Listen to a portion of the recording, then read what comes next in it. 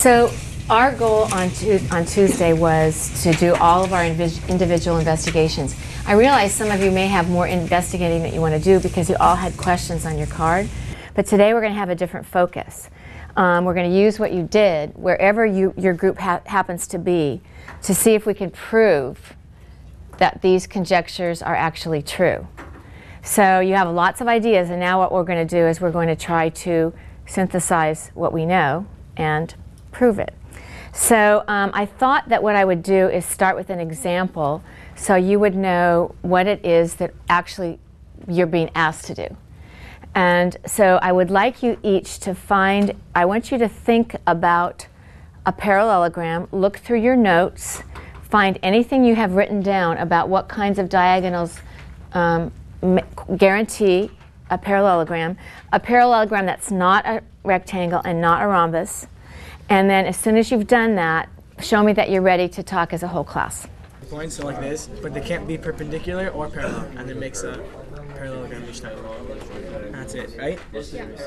Wait, wait. If it's like that, what about trapezoids? Isn't it the same thing?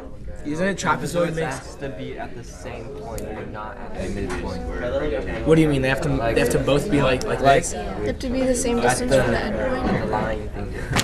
Like, do you have a roll?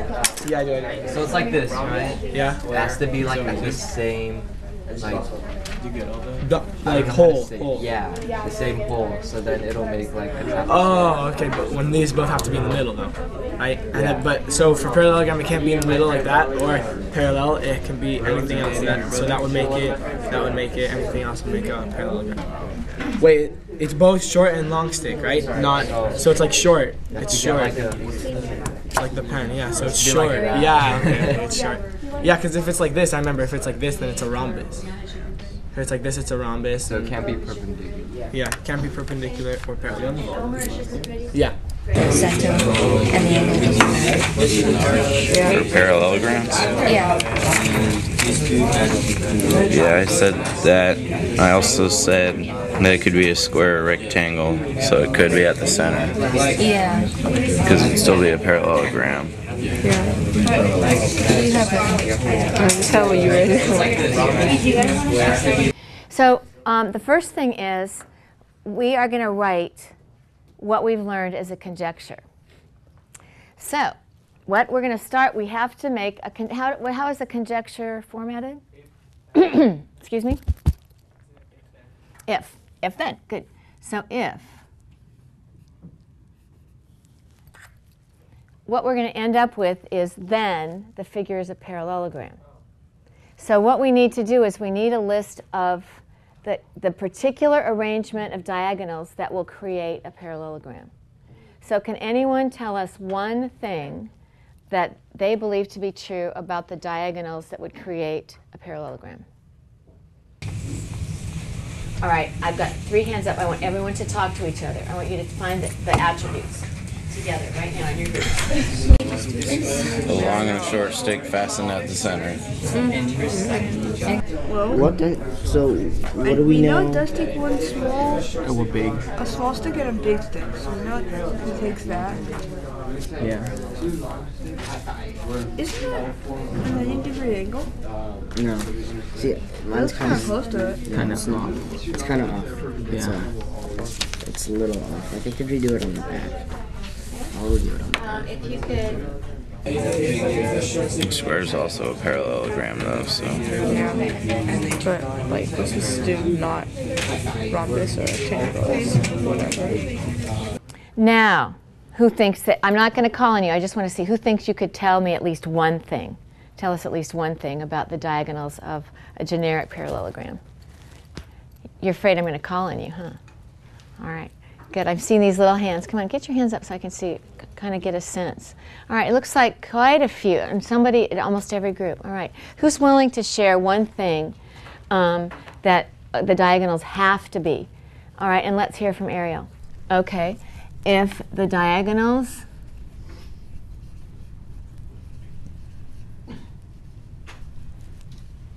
Um, and one of the things, let's see, if the diagonals intersect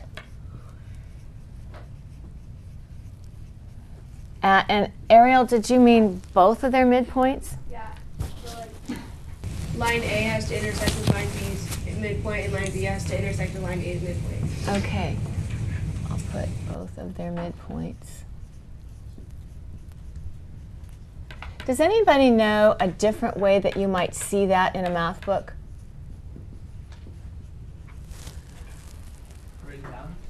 Huh? Yeah, in other words, when you're using this language, intersect at both of their midpoints. You know how math books can be kind of hard to figure out exactly what it's saying? So this, this language we all understand. Edward, do you have an idea? If the diagonals bisect each other. Yep, exactly. So that's what you would probably see in a math book. I'm not saying that I want you to write it that way.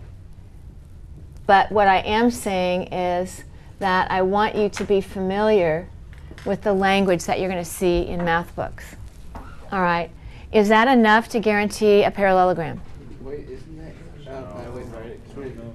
I can't remember. Um, what's the matter? What, what, Ryan? Oh no. Um, I was just being stupid for a second. You were being what? Being stupid for a second. No, you weren't. What do you mean you were being stupid for a second? You were. You had a thought, right? Yeah. What was your thought? Tell us what that was. See, the kind of thing that you're doing, though, that I, there's probably people that are thinking, "What does that mean? Is that really right?" That's not being stupid. That's being smart, because what you're doing is you're not letting. You're being a skeptic. To your, you're being a skeptic. That's what you need to be. And now that doesn't mean that you're not going to change your mind immediately the minute the word, the minute the words come out of your mouth. That happened to me yesterday when I was talking to two teachers about algebra two, um, and I started to question what they said and then it was two to one, so I backed down really fast. But then I realized what I said was wrong. Um, and you do feel a little bit stupid, but it's smart. It's really smart to do that, to stick up for your ideas. All right? Um, okay, is this enough for a parallelogram? All right, Jerry, what else do we need? Um, and the diagonals cannot be perpendicular. Okay. And the diagonals cannot be perpendicular. Okay. Is that enough for a generic parallelogram? No. No? People are saying no? Okay, and we're saying no. What do you think, um, Dorothy? The diagonals need to be at different lengths. Does everyone agree with these things? Yeah. And the diagonals need to be different lengths.